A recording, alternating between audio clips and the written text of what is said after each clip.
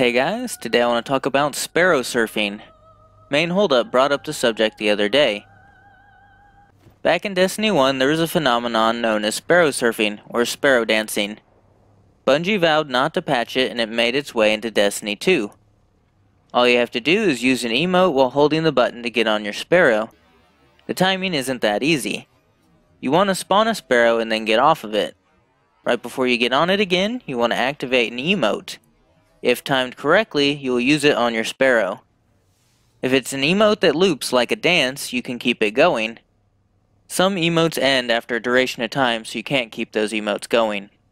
Using an emote or going in the air can kick you out of the animation, so be careful.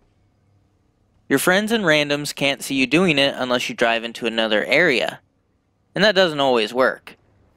So the best way to get it to work is loading into a nearby area and coming back to the area that your friend is in until you can both see each other dancing. This kind random here said he could see me dancing. Shout out to SQ Don for helping me test this. Cheese forever, Guardian.